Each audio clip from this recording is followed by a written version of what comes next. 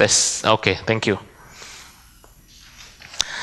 Saudara, hari ini kita belajar lagi tentang apa itu worship. Nah, sebelum saya waktu saya persiapan uh, khotbah ini, saya membaca di internet, saya melihat di YouTube, saya tertarik nih. Di satu YouTube temanya adalah tujuh pria tujuh pria Indonesia yang beristri paling banyak, gitu. Ya, jadi ternyata di Indonesia itu ada satu, ada beberapa tujuh yang paling banyak. Ya dimulai dari yang istrinya lima, yang paling banyak 94 di Indonesia loh gitu. Ya 94 nggak semuanya tinggal bareng sama dia lagi. Ada yang udah cerai segala macam udah meninggal gitu. 94 wow. Yang menarik menarik bagi saya yang saya mau ceritain hari ini adalah di interview lah satu bapak yang punya istri 10 terus ditanya kenapa bapak punya mau punya istri sampai 10 terus dia jawab gini itu bagian dari worship. bagian dari ibadah katanya. Jadi menikah sampai 10 itu bagian dari ibadah. Nah lu, semoga nggak ada yang kayak gitu ya. Saya jadi mikir, jadi ibadah itu apa sebenarnya? Kalau dua minggu lalu kita belajar ibadah itu adalah ibadah yang sejati itu ibadah yang lahir dari roh kebenaran. Di dalam roh dan kebenaran artinya di dalam hati kita yang paling dalam dan dilakukan sesuai kebenaran firman Tuhan. Ibadah sejati juga minggu lalu kita belajar bahwa isi dari ibadah itu adalah satu kekaguman, Pujian kita kepada Tuhan. Yang kedua, dalam ibadah itu ada keintiman sama Tuhan karena Tuhan memanggil kita seperti uh, seperti gembala sama domba-dombanya. Dia dekat sekali sama kita dan dalam ibadah ada ketaatan. Nah, hari ini kita benar-benar mau masuk ke dalam satu satu step yang lebih advance lagi bagi saya ini advance. Simple tapi advance sekali karena dunia mengajarkan ibadah itu banyak sekali. Kayak bapak tadi. Bagi dia menikah sama banyak perempuan itu ibadah. Bagi sebagian orang juga. Bicara tentang worship. Akhirnya selalu pikirannya adalah worship adalah susunan liturgis. Ya, worship adalah waktu apa? Worship adalah waktu mata sudah mulai merem, ya, lagu sudah mulai syadu, tenang, ya, sudah merasa tenang, lagunya udah yang uh, yang sangat apa namanya intimate, ah itu udah worship. Saudara, itu bisa worship lagu yang intimate itu bisa menjadi bagian dari worship. Tapi kalau kita belajar firman Tuhan lebih daripada itu. Kalau kita tidak tahu, kita tidak benar-benar mengerti apa maksud Tuhan tentang worship, maka jangan-jangan selama ini kita melakukan kegiatan agama agamawi, tapi sebenarnya ibadah kita nggak pernah berkenan sama Tuhan. Dan kita nggak mau. Itu sebabnya hari ini, sekali lagi kita mau bir, silakan Tuhan mengajar kita apa sebenarnya itu worship. Kita lihat bagian firman Tuhan. Tema kita hari ini, worship God in everything you do. Satu bagian firman Tuhan kita baca, Roma 12 ayat 1, sangat pendek, saya akan eksposisi satu ayat ini. Mari kita sama-sama baca, satu, dua, tiga. Karena itu saudara-saudara, demi kemurahan Allah, aku menasihatkan kamu, supaya kamu mempersembahkan tubuhmu sebagai persembahan yang hidup, yang kudus dan yang berkenan kepada Allah. Itu adalah ibadahmu yang sejati. Nah, kalimat uh, frase terakhir dari ayat ini mengatakan, itu adalah ibadahmu yang sejati. That's the true worship. Bahasa lain, terjemahan lain banyak nih. I appeal to you therefore brothers by the mercies of God to present your bodies as a living sacrifice holy and acceptable to God which your spiritual worship. Kalau English English Standard Version pakai kata spiritual worship. Bagaimana dengan King James? Dipakai this is your true and proper worship. Nah ternyata bagian terjemahan firman Tuhan dari bahasa Indonesia dan banyak versi itu agak berbeda, bukan worshipnya yang berbeda, tapi itu loh, spiritual worship, true worship. Tapi ujung-ujungnya intinya sama. Bahwa worship yang benar, worship yang berkenan, worship yang reasonable tuh kayak apa? Nah, Bukan mata waktu udah merem-merem itu worship. Apalagi kalau menikah punya istri sepuluh itu worship. Sama sekali bukan. Worship bukan bicara tata cara, bukan. Worship bukan bicara cuma sekedar doa, bukan. Alkitab berkata, ibadah yang sejati, the true worship itu apa? Saudara-saudara, demi kemurahan Allah, aku meneteskan kamu supaya kamu mempersembahkan tubuhmu sebagai persembahan hidup yang kudus dan yang berkenan kepada Allah. Nah, bagian inilah kalau kita lakukan itu jadi the true worship. Nah, kita start from dari begini. Karena itu loh, kok tiba-tiba pasal 2 bilang karena itu. Kalau ada kalimat karena itu berarti ada sebelumnya. Nah, sebelumnya apa? Nah sebelumnya kalau saudara pernah baca kitab Roma secara keseluruhan, baca kitab Roma pasal 1 sampai 11 kita menemukan bahwa ayat pasal 1 sampai 11 tuh Rasul Paulus ya, Paulus tuh ceritakan tentang doktrinal. Jadi kitab Roma itu satu kitab yang terkenal sangat kuat sekali dalam doktrin.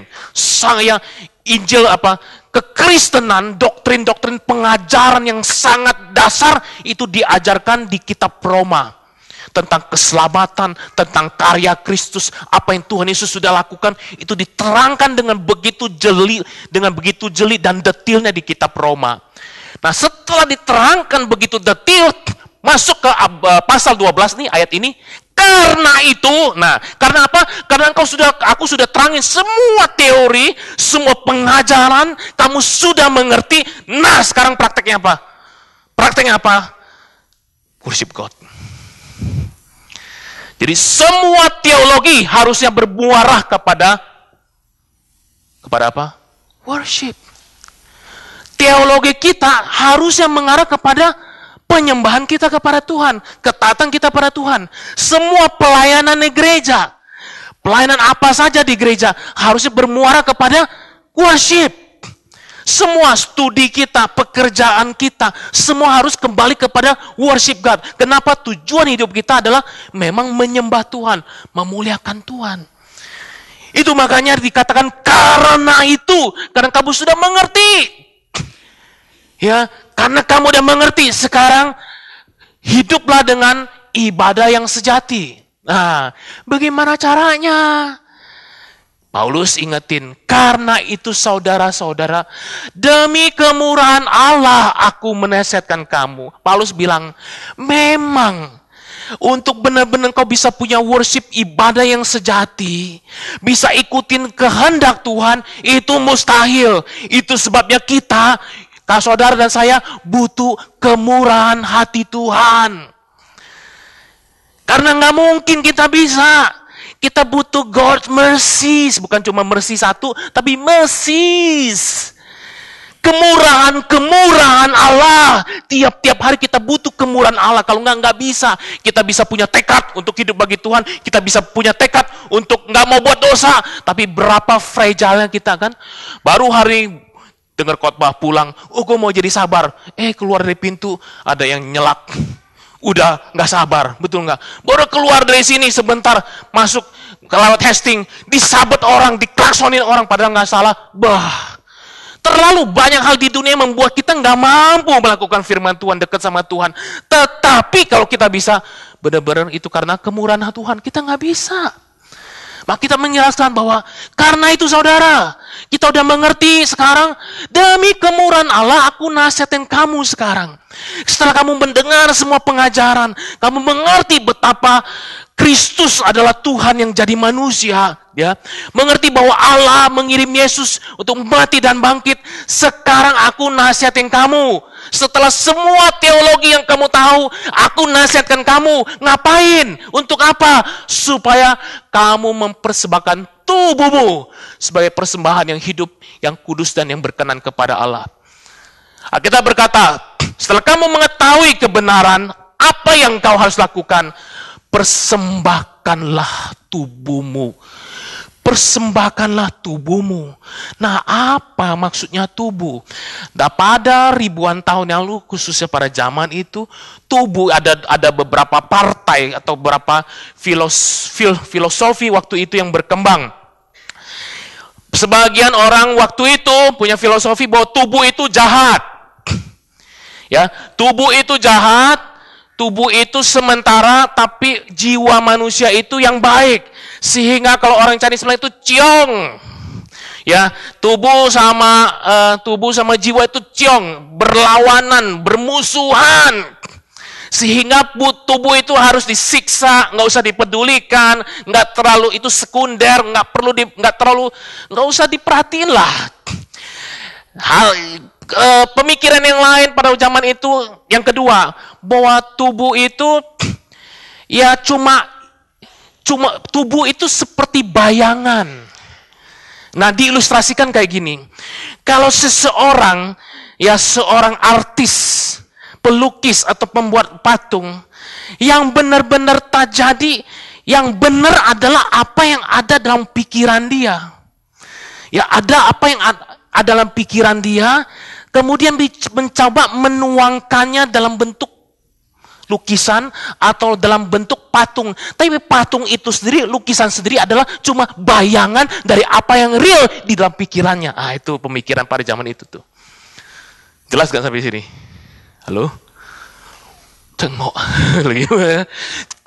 Jadi bagi itu bukan itu bukan apa yang Alkitab pelajaran, tapi waktu itu jadi nah ada ada beberapa orang anak muda ini kalau lagi patah hati selalu bilang cinta itu cuma ilusi katanya. Siapa itu tahu dah saudara ya.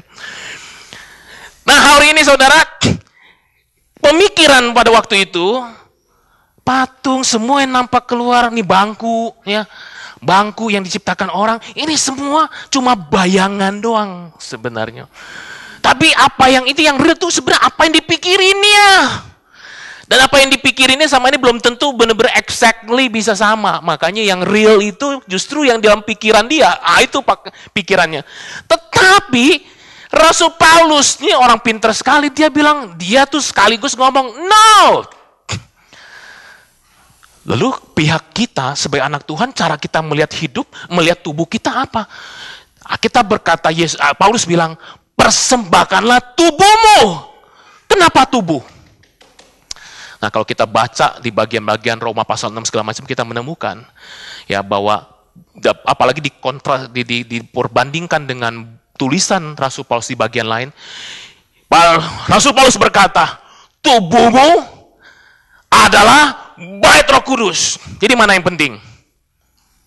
Mana yang lebih penting? Tubuh atau rohnya? Tubuhmu ada yang roh kudus. Jadi, Paulus mau katakan tubuh kita itu penting. Oh penting iya selama kita hidup di dunia, roh kita ada dalam tubuh kita. Jiwa kita ada dalam tubuh kita, pikiran kita ada dalam tubuh kita, perasaan kita ada dalam ada dalam ada, ada dalam tubuh kita. Apa yang kita lakukan dengan tubuh kita. Maka ketika Alkitab berkata, Paulus bilang, persembahkanlah tubuhmu, artinya tubuh bukan cuma fisikal, tapi seluruh keberadaan yang ada dalam tubuh ini. Jadi itu pikiran kita, perasaan kita, kehendak kita, tingkah laku kita. Jadi tubuh ini mewakili keberadaan diri kita. Nanti kalau udah mati, baru nggak ada tubuhnya.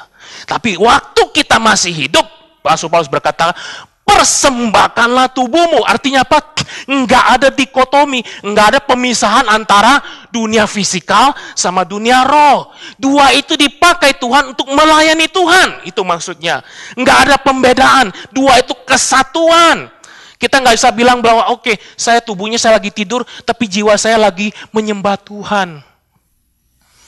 Kita keluar ya, kalau ilmu-ilmu tertentu kan, agama tertentu, oh kita keluar dari raga kita, ya, ini kita lagi bertapa begitu, terus keluar di raga, ya rohnya keluar terus ngapain nyanyi gitu, enggak. Kita menyembah Tuhan saat kita masih hidup ini dengan tubuh kita. Tubuh yang melibatkan roh. Nah ini implikasinya hal yang lain adalah bahwa penyembahan kita, worship kita itu bukan sekedar hal yang kelihatannya rohani, yang kelihatannya rohani. Tapi segala sesuatu yang berkenaan, yang ada hubungan sama tubuh, itu bisa menjadi worship kita di hadapan Tuhan. Dan worship seperti itulah yang berkenan sama Tuhan, yang menjadi kehendak Tuhan, yang acceptable.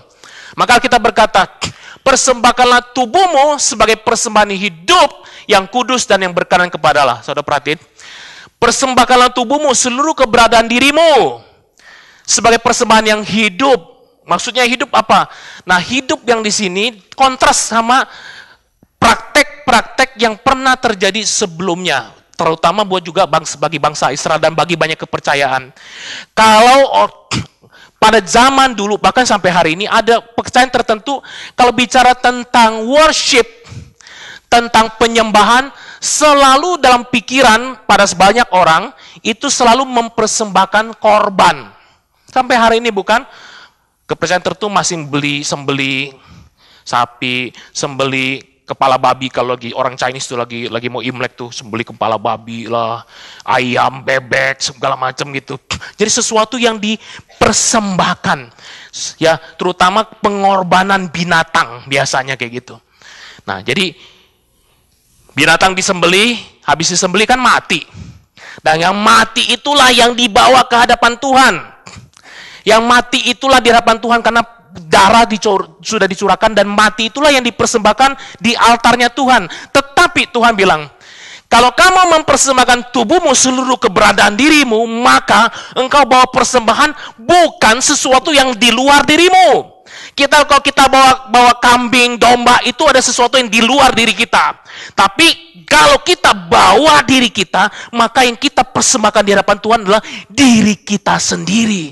Dan bukan diri kita yang mati, diri kita yang hidup. Bukan sesuatu yang mati yang kita diri kita yang hidup yang kita persembahkan. Bukan cuma hidup, persembahan yang hidup yang kudus. Nah, per, perkataan kudus ini, kalau kita selidiki dalam firman Tuhan, kudus itu selalu artinya set apart. Khusus itu dalam Alkitab artinya sebenarnya itu dipisahkan berbeda dengan yang lainnya. Allah adalah kudus artinya apa? Allah itu enggak ada samanya dengan segala sesuatu. Allah itu kudus, Allah itu enggak bisa disama kategorinya dengan apa pun juga di dunia ini. Dia khusus, dia Allah yang tidak tidak tidak bisa tahan dengan dosa, dengan tidak dengan ketidak dengan ketidakbenaran.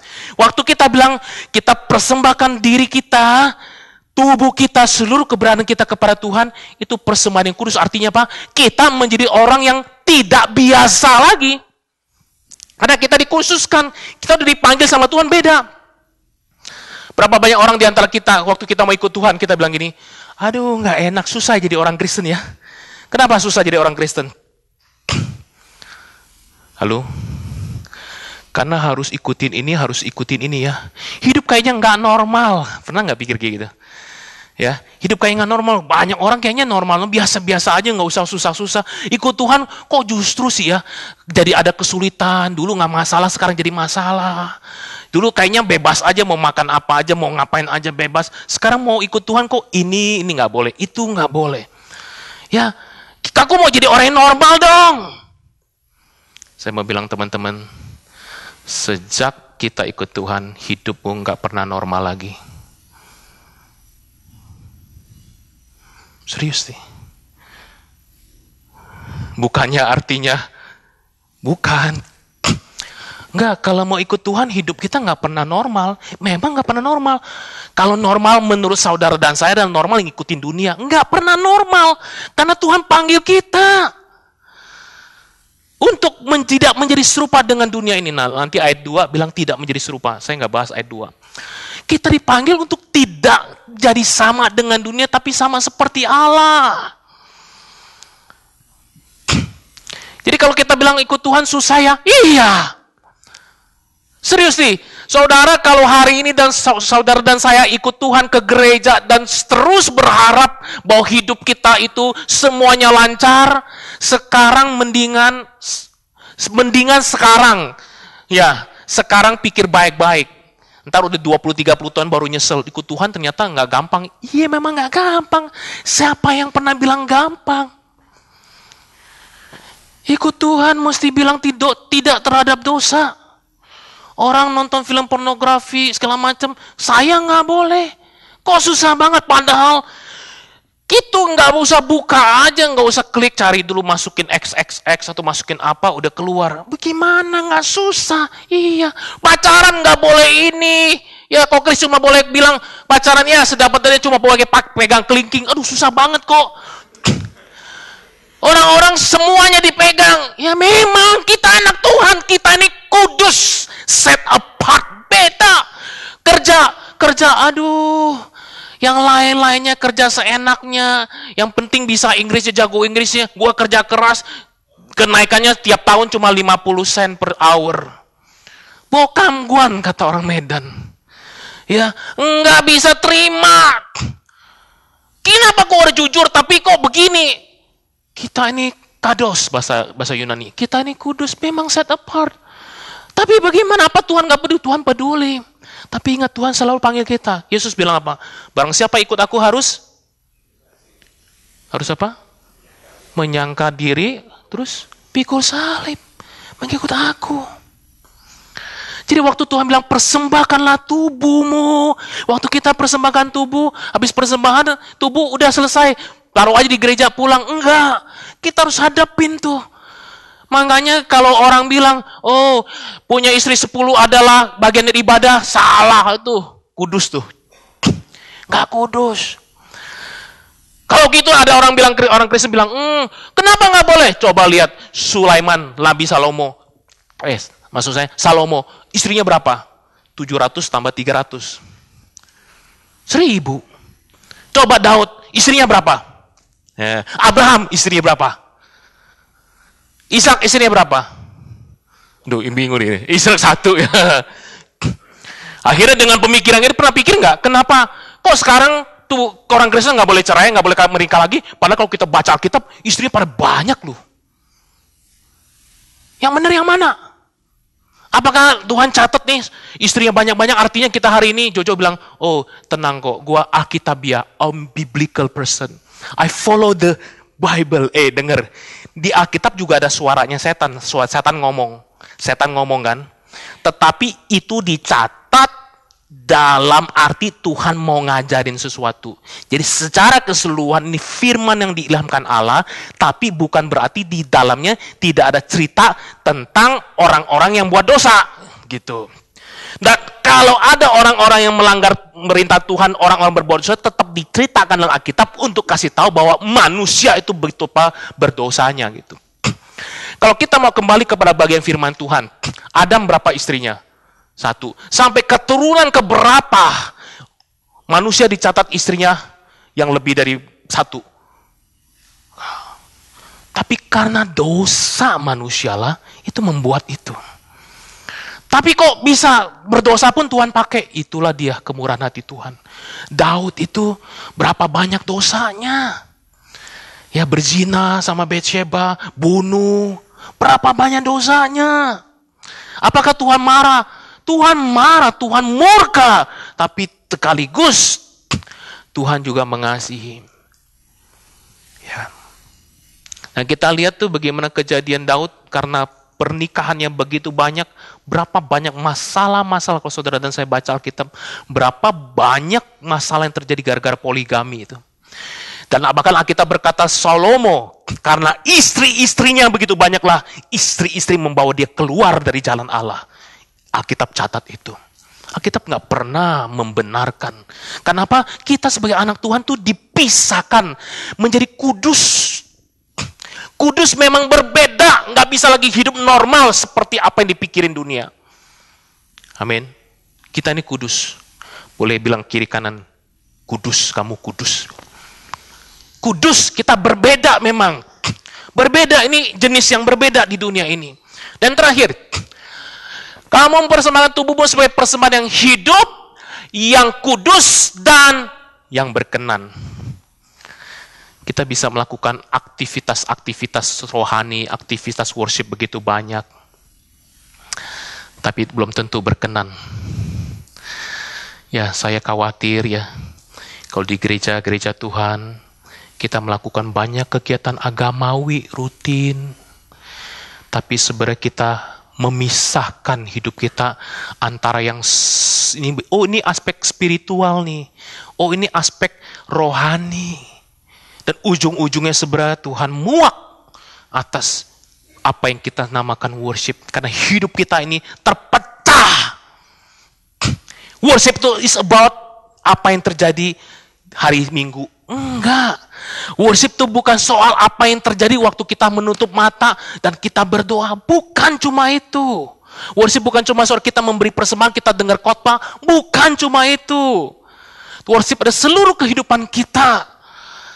Itulah worship yang berkenan kepada Tuhan. Hari ini saya mau ajak kita benar-benar naik kelas. Buka pikiran kita, biar roh kudus membuka pikiran kita. Worship itu adalah seluruh hidup kita kepada Tuhan. Itulah yang berkenan sama Tuhan. Itulah sebabnya. Bagian firman Tuhan yang lain mengatakan begini. Next please. Dalam Roma 2, uh, eh, next. 1 Korintus 10, 31 mengatakan gini. Mari kita sama-sama baca. 1, 2, 3.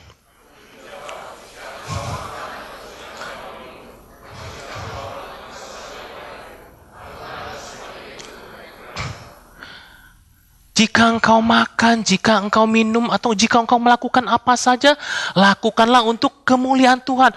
Lakukanlah untuk worship God. Bagaimana aku makan, aku bisa menjadi kemuliaan Tuhan, menyatakan kemuliaan Tuhan. Bagaimana makanku bisa menjadi worship? Oh bisa. Ketika kita makan, kita mau makan, kita mengucap syukur kepada Tuhan. Di situ makan kita menjadi worship. Waktu kita makan, kita ngobrol sama teman, apa yang kita ngomongin selama kita makan itu bisa menjadi worship kita kepada Tuhan.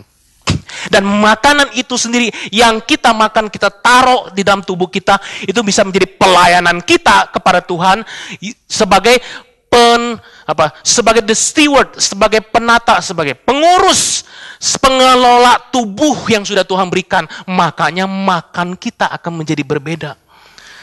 Dulu sih saya makan segala yang saya makan, segala yang saya makan. Saya suka pedas, saya makan cabai 10 kalau makan gado-gado. Ya, saya makan, saya pernah cerita suka makan martabak, saya makan satu loyang saya sendirian dulu waktu saya belum menikah tuh.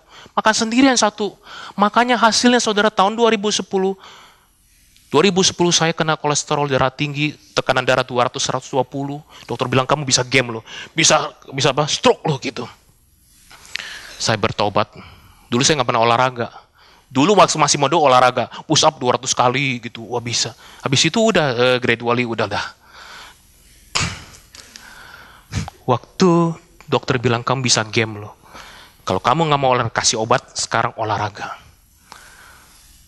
Oh, saya bertobat gak? Saya bertobat, mulai olahraga.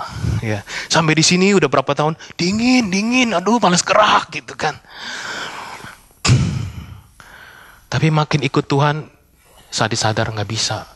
Tapi waktu, jadi sampai di sini saya belum bertobat makan cabai. Terus makan cabai, tanya istri saya, tanya anak-anak muda makan cabai itu. Luar biasa. Sampai saatnya berkali-kali habis makan sambal luar biasa. Perut saya ini, terus saya sadar bahwa, wah ini bukan worship nih Ya, ini kedagingan. Ya, jadi sekarang saya mulai lebih tahu. Karena saya tahu bahwa tubuh ini dari Tuhan. Tubuh ini waktu saya makan harusnya jadi worship bagi Tuhan, makanya saya harus tahu apa yang masuk. Kan saya sedang melayani tubuh yang Tuhan berikan. Gitu. Waktu kita olahraga, ya, waktu kita olahraga ketika keringat keluar, ya, Vano silakan duduk. Ya, waktu keringetan keluar, kita bisa berkata, Tuhan, ini worshipku. Kenapa? Ini bagian dariku untuk menjaga tubuh yang Tuhan dekasi. Amin. Ya.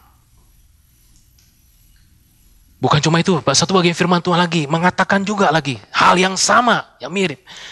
Kalau saya 323, mari sama-sama Apa pun juga yang kamu perbuat, perbuatlah dengan segenap hatimu seperti untuk Tuhan dan bukan untuk manusia. Bukan cuma makan, bukan cuma minum. Tidur juga. Tidur waktu kita main game. Kok boleh nggak main game? Boleh. Anak saya juga saya kasih main game. Tapi main game ini, apakah ini menjadi worship kita kepada Tuhan? Game macam apa yang kita mainkan? Boleh nggak kita nonton film? Boleh. Tapi itu membawa kita makin dekat sama Tuhan enggak? Ya, cara kita bekerja, ya, waktu kita bekerja ngangkat-ngangkat barang rasanya capek. Ya, mungkin kadang waktu kita letih, stres ngurusin data-data gitu banyak, harus harus deal sama orang.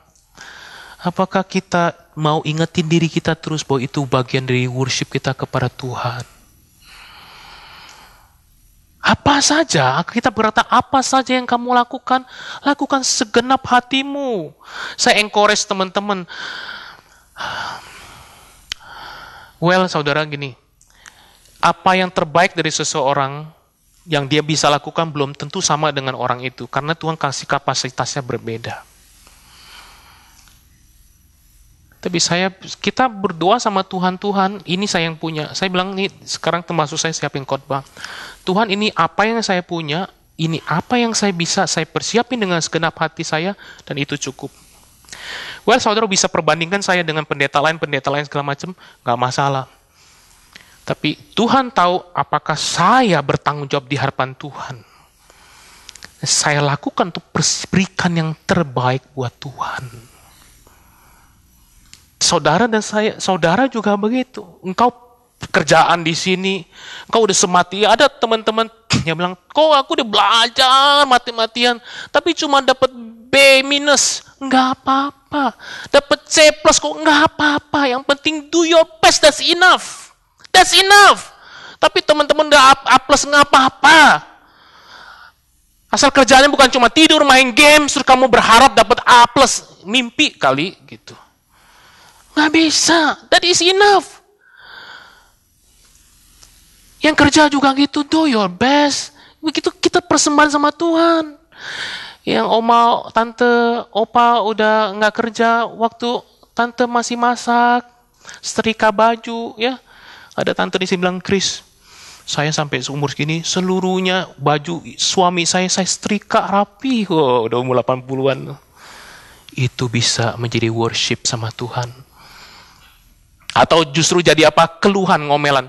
Uh, udah tua, masih cerewet. Wow.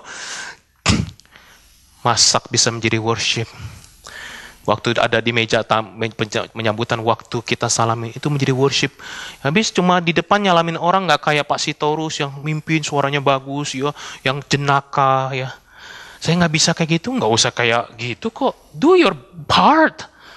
Ya, lakukan. Ya, lakukan apa yang kita bisa. Saya datang ke sini, apa yang sedang dilakukan oleh ketua majelis kita, lagi rapi-rapin rapi-rapin bangku kursi di bawah, nggak ada yang ngeliat kan? Saudara enak-enak duduk di sini. Ketua majelis kita ngatur-ngatur kursi, meja.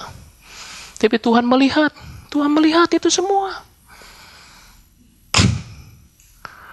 Tuhan melihat apa pun yang kita lakukan, lakukanlah untuk siapa? Tuhan. Kalau kita lakukan untuk Tuhan berarti kita sedang worship Him. Nah, saya bicara sampai hari ini, saya pun dalam proses saudara. Jauh, saya masih jauh dari sempurna. Ya, dulu waktu di Indonesia saya pelayanan, ya ada pembantu, ada mertua yang bantuin, ada pembantu yang ngurusin rumah, ada mertua yang ngurusin anak, ada sopir yang nyepirin ke mana-mana, ya itu dulu di Indonesia. Sampai di sini kan pendeta kehidupan di sini sendiri dan juga nggak ada namanya pembantu sopir apa, semua ngerjain sendiri. Nah awal-awal saya di sini saya merasa, wah ini nggak rohani banget ya, waktuku habis banyak loh. Di waktu saya dulu tuh, ke waktu saya sampai di, di, sampai di sini kan tinggal di, di rumah yang deket Peterson, Gilpin masih inget gak? Rekan-rekan yang lama. Itu kalau lagi fall, aduh masa masa ampun dah. Itu daunnya tiap hari turun banyak yang luar biasa, berkarung-karung. Saya datang, saya merasa gila gua nih dalam kedagingan saya. Gua jauh-jauh dari Indonesia ngurusin daun. Ya pendeta ngurusin daun, belum lawn lawn mower. Dorong, dorong. Ini ngapain gua di, di, di Kanada ngapain gitu? Ya, nggak ada pembantu. Nanti piring banyak ini nyuci piring. Dulu tuh saya hidup terpecah karena saya bilang ini nggak rohani gitu loh. Kalau menjadi pendeta di GI kan gitu, pendeta bukan cuma di GI, teman-teman yang gereja lain di sini juga gitu.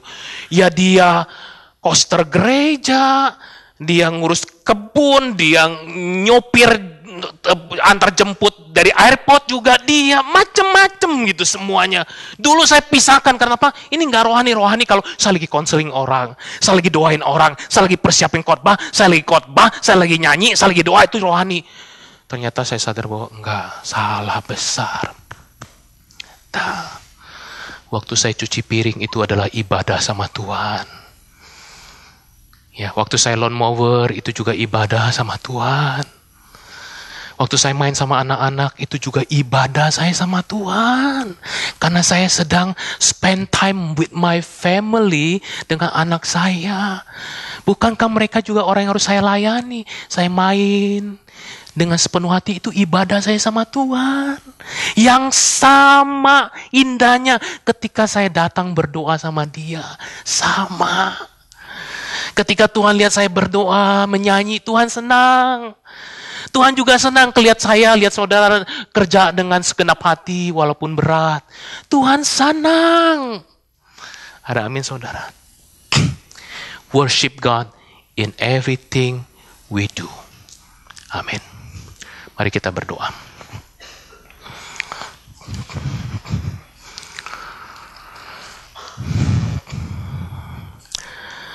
Saya mau ajak kita menyanyikan lagu Tuhan ku mau menyenangkanmu. Mandike Mari kita responi firman Tuhan. Saya ajak saudara bersama Saya juga mau belajar terus. Gak selalu saya berhasil Betapa sering saya lupa Saya gagal Saya stres Dalam waktu ngerjain sesuatu. Tapi hari ini mari kita sama-sama belajar. Kita mau do everything untuk worship God, untuk nyenengin hati Tuhan. Kita mau bertumbuh, makin mengenal mengasihi Tuhan. Kita mau menyenangkan hati Dia.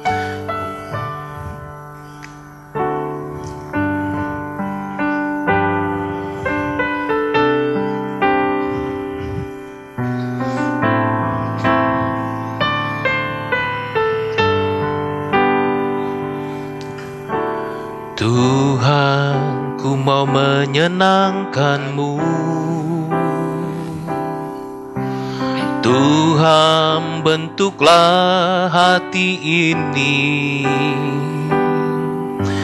Jadi bejana untuk hormatmu.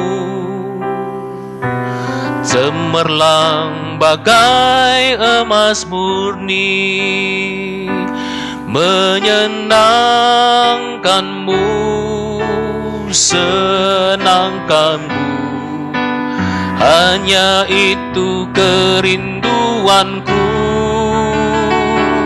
Menyenangkanmu Senangkanmu Hanya itu kerinduanku. Tuhan ku serahkan hatiku. Tuhan ku serahkan hatiku Semua ku berikan padamu Kuduskan Tuhan. Kuduskan hingga tulus selalu. Agar aku menyenangkanmu Menyenangkanmu menyenangkanmu senangkanmu hanya itu kerinduanku menyenangkanmu. Menyenangkanmu. Senangkan hatimu. Hanya itu kerinduanku. Sekali katakan menyenangkanmu. Menyenangkanmu. Senangkanmu hanya itu kerinduanku. Menyenangkanmu. Senangkan hatimu. Hanya itu kerinduanku. Mari kita berdoa, saya undang saudara Joshua Sungkarto pimpin dalam respon firman Tuhan.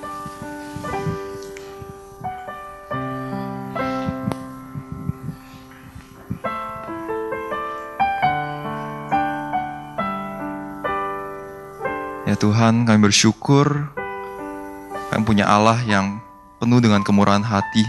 Ya, Ya, ya Tuhan, ajar kami ya Tuhan untuk dalam segala hal kami rindu untuk menyenangkan-Mu, untuk worship You in everything we do. ya Tuhan. Tuhan berikan hati yang um, sungguh-sungguh Christ-centered, focus on um, on You dalam Ya. pekerjaan, dalam uh, study, uh, biarlah um, kami bisa worship You with all our heart, strength, and mind. Terima kasih ya Tuhan, hanya dalam namamu, amin. Amin.